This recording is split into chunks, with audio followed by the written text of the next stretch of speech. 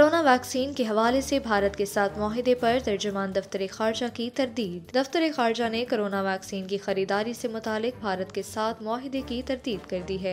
तफसीत के मुताबिक तर्जुमान दफ्तर खारजा ने हफ्तावार ब्रीफिंग के दौरान ये वाजिया किया है कि पाकिस्तान ने कोरोना वैक्सीन की खरीदारी से मुतालिक भारत के साथ कोई दो तरफा माहिदा नहीं किया है। तर्जुमान दफ्तर खारजा जाहिद हफीज चौधरी ने भारत की जानब से पाकिस्तान को कोरोना वैक्सीन की साढ़े चार करोड़ खुराक की फराहमी से मुतालिक कहा कि बैन अवी वैक्सीन अलायंस गावी ने कोविक्स के तहत पाकिस्तान समेत मुतहद ममालिक को वैक्सीन की खुराकें फराहम करने की पेशकश की थी।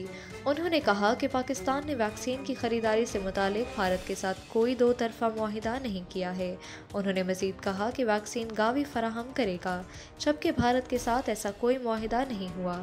वाजिया रहे कि गुजशत रोज़ पाकिस्तान को भारत में तैयार की जाने वाली बरतानवी कोरोना वैक्सीन एस्ट्राजेनिका से मुतालिक रिपोर्ट सामने आई थी, जिसके मुताबिक मार्च के बस तक पाकिस्तान को कोरोना वैक्सीन पहुँचना थी।